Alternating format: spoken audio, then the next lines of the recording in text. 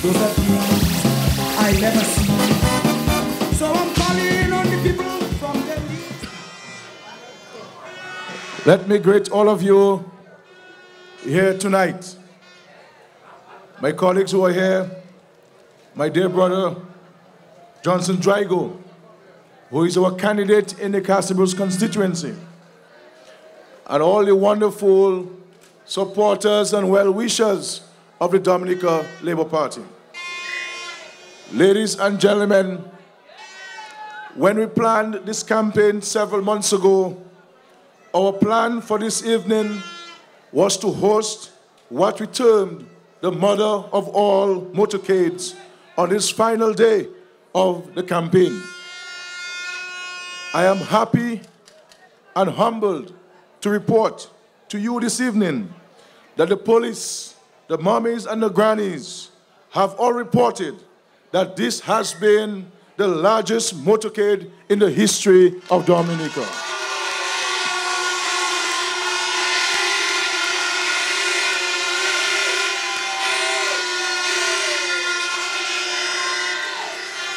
I was told that an old man from Wesley asked whether we borrowed vehicles from Guadeloupe and Martinique.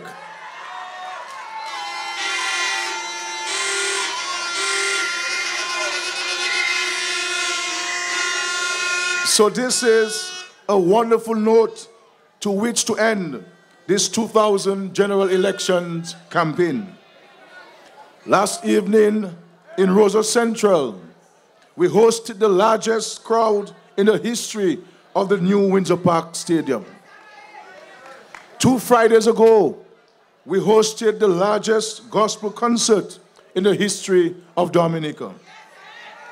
All this has given me the confidence to proclaim this evening that come tomorrow, we shall record the largest margin of victory in the history of Dominican politics.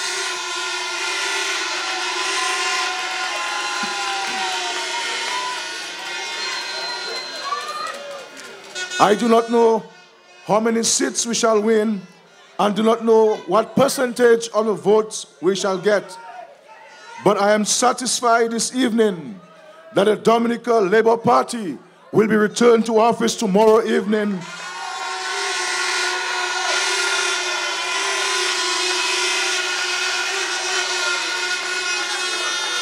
With a commanding majority of the seats in the new parliament. Comrades and friends, this election campaign has served to highlight the fundamental differences between the two parties that have entered candidates.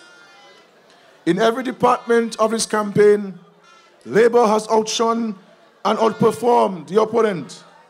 Indeed, we have had reason on several occasions to wonder whether they were still actively involved in the campaign. I want voters who are still undecided tonight to consider the many errors Lennox Linton and a UWP made in this campaign, and to ask yourselves whether we can seriously risk such an incompetent bunch of individuals in government at this time.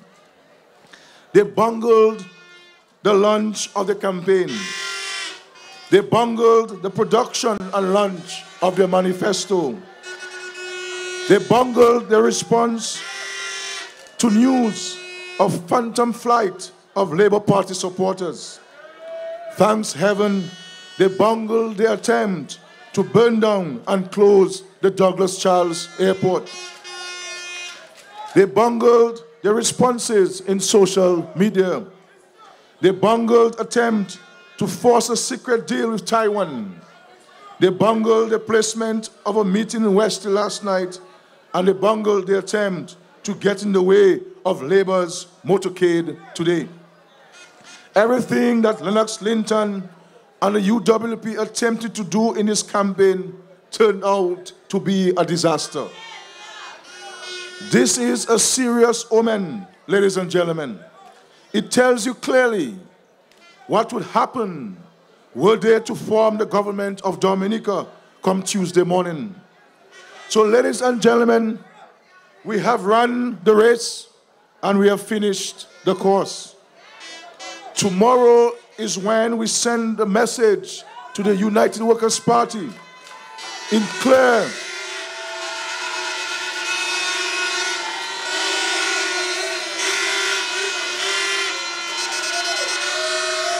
in clear and uncomplicated language that we do not trust them to lead this country. And we certainly do not trust our future in the hands of Lennox Linton. Comrades and friends, I know many of you are eager to vote. I know there'll be a race tomorrow morning to see who gets to the polling stations first and who casts the votes first for the candidates of the Dominica Labour Party. But while I want you to rush to the polls, I want you to take your time and vote. Move, move your pencil to the center of the little box and make your X next to the shoe. Do not, do not touch the line. Make it large enough to be seen, but small enough not to touch any of the lines. Don't worry about the spelling of the candidate's name. Just look for the shoe. You wear shoes every day. Look for the shoe and put your X next to the shoe in the box across from the shoe, ladies and gentlemen. Now, those of you who one full month after this campaign was launched are still undecided as to whether you will vote tomorrow. I want you to understand this evening that your not voting is a help to the United Workers' Party. Look around you carefully, and you will see that the UWP's base is still active. They know they're losing, but they're still doing what they have to do in the name of their party. I have not met a single UWP supporter who is comfortable with Lennox Linton as Prime Minister in waiting, but yet they are determined to vote. I want you to understand that your not voting tomorrow is an act of aggression against the Labour Party and an embrace of the United Workers' Party. The UWP comes, the UWP does not want Laborites or Labour leaning voters to vote. In marginal areas, they have calculated that if they can get out their vote and they can encourage as many Laborites as possible not to vote, they can win a couple seats. I am saying to Labour supporters this evening that not voting is a serious act of malice against your country. Dominica deserves better than Lennox Linton. Dominica, Dominica deserves better than the group of underachievers the UWP has offered this country as an alternative. Whether you're concerned about whatever you're concerned about labor or your power reps, I ask you tonight to set aside and let's get the party that you love back in office.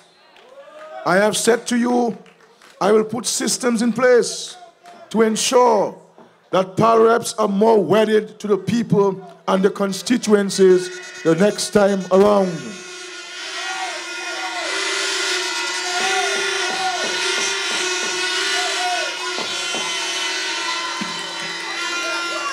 Being vexed, being vexed is not a reason or an excuse to stay at your home or to spoil your ballot.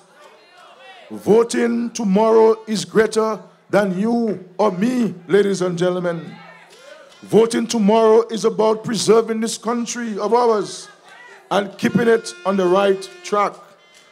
Voting tomorrow is about preventing an angry, incompetent, untrained, and unsuitable Lennox Linton from grabbing power in Dominica and destroying this country.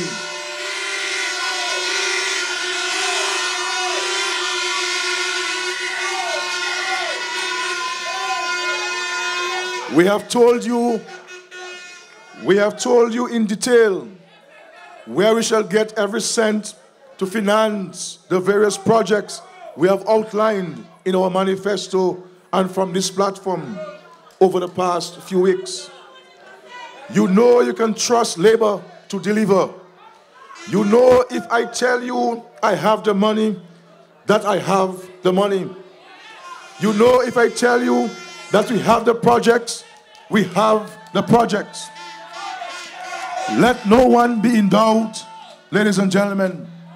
Once Labour wins this election tomorrow evening, every child in this country will go to school next term with a tablet in his hands.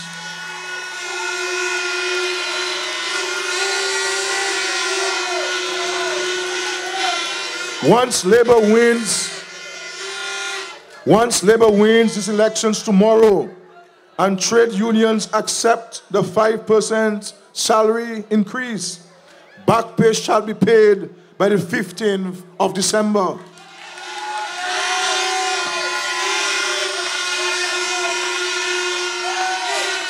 Once we win, once we win election tomorrow, construction will start on the new General Hospital, the multi-purpose sports facility,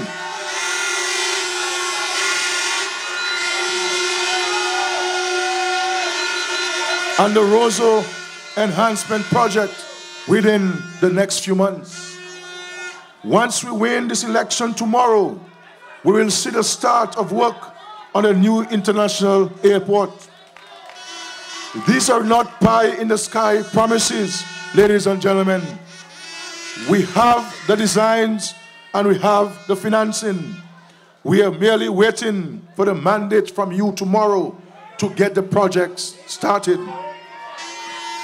So, ladies and gentlemen, these elections tomorrow are crucial. Do not worry about how many seats we shall win. We won 18 last time around, and we did not abuse our power. You therefore, ladies and gentlemen, can trust us with all 21 seats.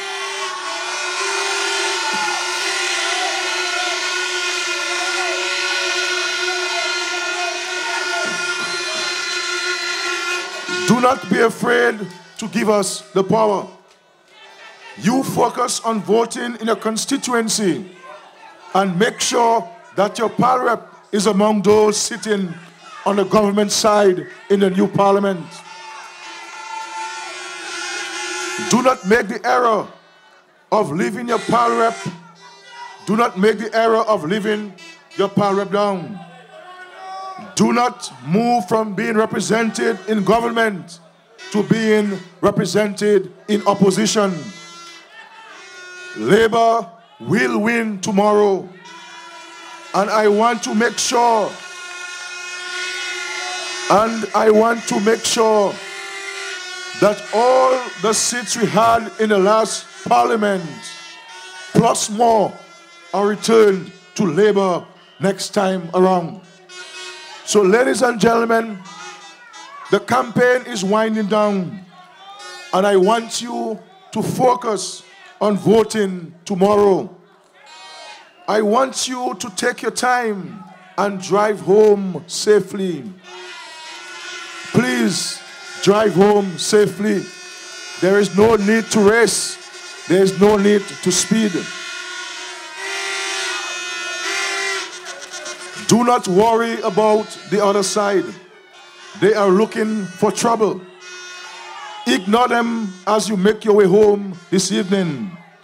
Go home and get a good night's rest. Those of you who are working in whatever capacity in this election tomorrow, I want you to go home and memorize what it is you have been told you have to do and how you have to do it. Those of you who will be voting, I want you to be patient. leave home to vote for the Dominica Labour Party.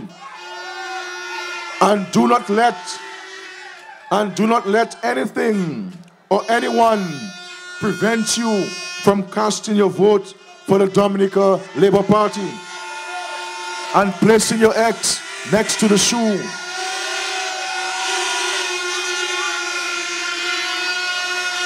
Tomorrow, tomorrow is the beginning of a new era in the evolution of Dominica.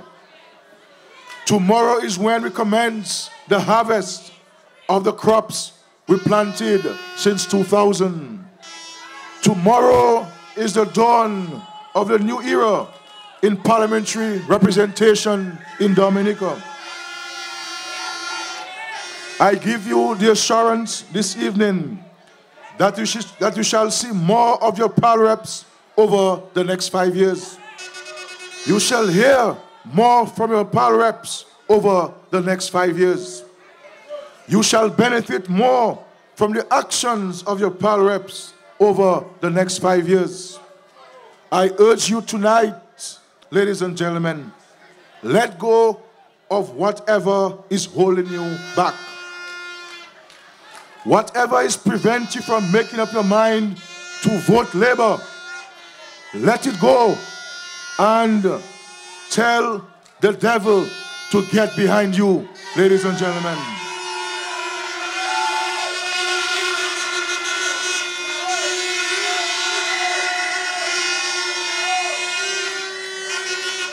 I thank you for all, I thank you all for making this an awesome campaign.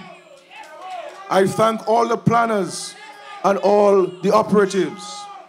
I thank all those who worked during this campaign. I assure each and every one of you that your labor shall not be in vain. Labor will take care of its people this time around.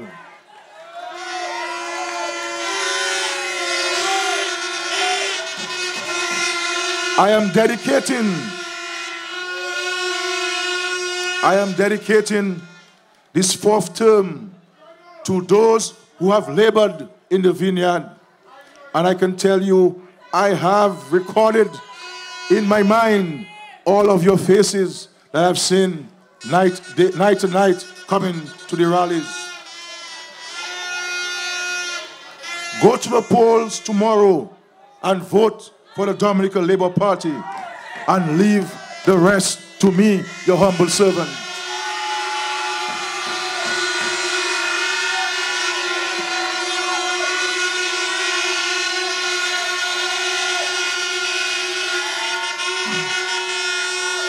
Ladies and gentlemen, I know some of you have been amazed by the massive motorcade. I know some of you are overwhelmed by this massive and historic motorcade. I do not want you to go home saying that Labour has won and you go sleeping all day tomorrow. You have to vote tomorrow.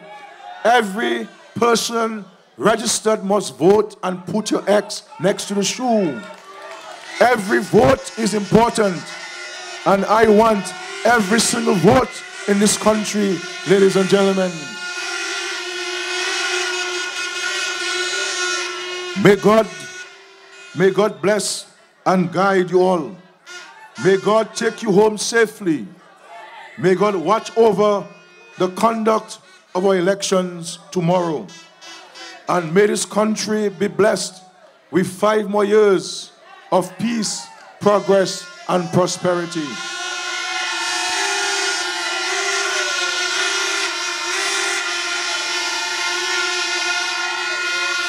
My dear Dominicans, my dear Dominicans, the future, the future of our beloved country is in your hands. The future of our beloved country is in your hands. I want to thank you very much for the show of support and solidarity. And to say to you, and to say to you, that I will never forget you, the people of Dominica. I will never forget you who turned out every night and every day to support the Dominica Labour Party. I, I will not forget you, my dear friends. Ladies and gentlemen, ladies and gentlemen, we have come, we have come to the end of campaign 2014. I am heading home now. I want you to head home also. And let us go back home. Let us drive safely. Let us get some rest. And let us go out to vote. We have enjoyed ourselves over the last 42 days. And I have no doubt that you enjoyed yourself today. So I want you I want you to listen to me tonight and let us let us board our vehicles and head back home to get a rest. May God bless you all. May God bless our beautiful country, Dominica. Thank you very much. Thank you very much, ladies and gentlemen. God bless you. Thank you.